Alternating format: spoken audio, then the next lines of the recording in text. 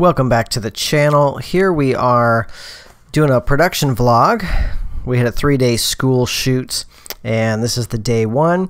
First day on the job with our brand new cart from Selens, so we wanted to see how quick we could do it. I left the wheels on in the car when we packed it up because I wanted to make sure that we can move as fast as possible and I feel like you know that did help. Um, so you can kind of see uh, we had not yet received the uh, cool mouse pad, so I had just grabbed some uh, workout foam pieces and used those. That way we had a little some protection on there. Um, so this is just a, a real time, um, just under two minutes to build this card out. So it does come together pretty quick when you have all the pieces more or less assembled. Uh, we had thrown um, the Ronin with the uh, Tilta ring uh, inside the cart to keep it safe for travel. So you can see the cart does come together pretty fast. Um, and again, this was the first day on it, so we're still kind of like, oh yeah, how do you put it down? but uh, we, we, we, got it in there. Um, so at this point, uh, we don't have a production van, so we're still stuffing everything into my CRV, uh, which has a pretty decent cargo capacity for a midsize SUV, but uh, but still, it it does not have the amount of space we would like.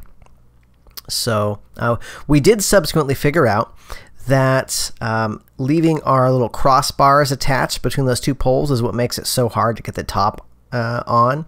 So we we did learn eventually not to leave those crossbars on. Uh, put those crossbars on after we put the top on, and the top goes on way easier. So um, anyway, so just under two minutes to get that done, uh, and then at this point we are going to load up the cart, and so.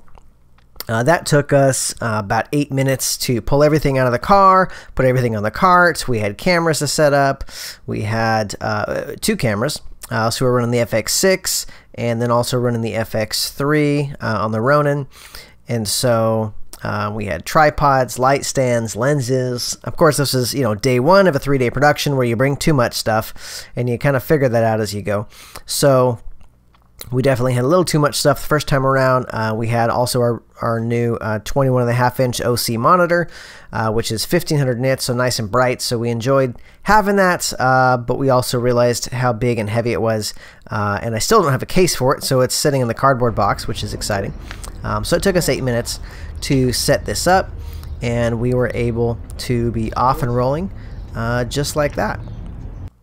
And first location was outside. We had a little interview set up, which we did. Um, and then we caught a little bit of B-roll uh, for this project. Um, a couple shots. We had uh, the FX6. Um, we've got also the new Blazar Remus anamorphic uh, 1.5 full frame lenses.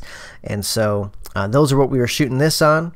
Uh, first job again for those lenses, so a lot, lot of first. First job for the Osee, uh, and then also uh, Mike just picked up the Axon wireless, um, and then here we are putting the card away, and then build it back out because we had another location. Um, here we are doing some interviews and a little bit of B-roll. We had an interview setup. We're actually using the cart as our uh, setup for lights, so that was kind of something we planned ahead. Uh, we would uh, take that cart and we would use the cart to get the uh, lighting. So we had the, the silk uh, on one end of the cart, we had the uh, light on the other end of the cart, and that worked well to give us uh, some nice, um, you know, diffuse light. So, uh, and then of course we've got these cool light poles that are built into the cart, which is what we're using. Uh, those go on all the corner posts. I only grabbed two because I was an idiot and didn't grab four uh, when we picked up the card NAB. So now I've got to order two more and wait for them to ship in. Um, we had the monitor laid on the cart, uh, you know, just standing up because we didn't have enough poles because uh, we needed one for the light and one for the silk. So uh, definitely, again, going to have more poles so we can get monitor off the cart. That'll free up some space uh, for for things there on the cart. Uh, but overall, very pleased with how this is going. Um, we had a little battery powered uh, 60 light. We've got a, a bicolor 300 light shooting through the silk. And that was the, the setup for this one. Uh, so nice and simple. Um, clients helping with the interview and, and also just kind of watching. Um, so, I mean, overall, it's a, it's a clean setup and we're pretty happy with it. So, uh, a couple more pictures there. you can see the light. You can see all the stuff we jam onto this little cart. There's always stuff on the cart. Um, another quick setup and uh, kind of a picture of the monitor there. Uh, just a, a, last minute interview, which was, you know, it was all right. Uh, it wasn't my favorite of the day, but it was okay. Um, and then we roll the cart out, load it back in the car, head to another location, build the cart out, roll back into another location. Uh, more interviews, more, did a lot of locations and a lot of moving. Um, so another interview.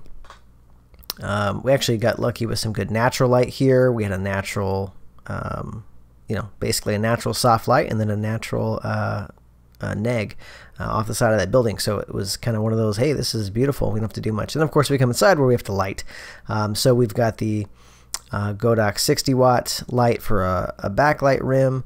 And then again, we're punching that 300 through the silk um, on the cart. Um, and then cameras just, you know, on sticks. Um, so yeah, so you can see the light there and all of that. Um, and then we come outside, we silk and neg for the outside interviews. Um, this is where we figured out uh, we must have picked up a sticker, uh, as in a, uh, a goat head, in the tire, one of the tires, because when we rolled out for the next day, um, one of the tires was flat, and we didn't realize it till we'd already loaded up. Uh, but pretty sure we picked up a goat head right here because it was kind of nasty, and then you can see it sticking off the uh, tires. the dangerousness of this gimbal and monitor flopping like a. And that gimbal and monitor was flopping around when we went off road. So, but we had a good day, and we're getting it dialed in. Thanks for watching.